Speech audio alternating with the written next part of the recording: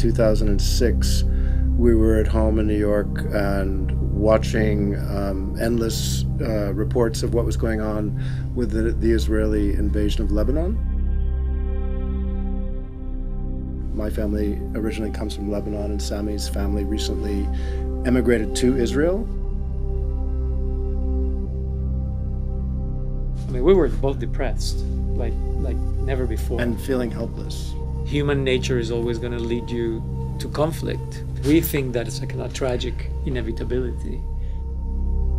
We couldn't sort of dance around it. We would have to contend with it within the course of our own work and bringing our own sort of personal narratives into the story of, of uh, a larger geopolitical conflict became inevitable.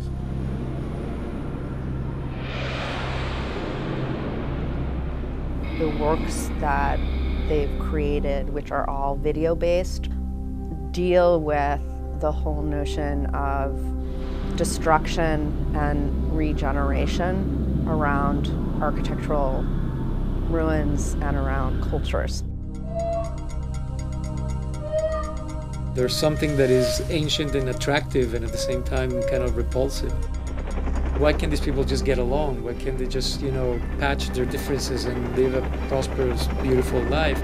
Every time you speak to somebody in that region, it always starts going well because in 1922 well but because in 1878 well because in you know in 1575 historical contamination has occurred the four projects really are a commentary on the landscape of the Middle East and the inevitable connection between the people who live there and the land itself.